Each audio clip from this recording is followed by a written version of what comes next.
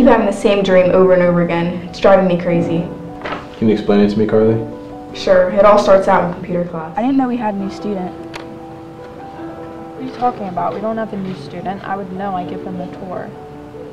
Then who's that strange girl sitting over there in the corner?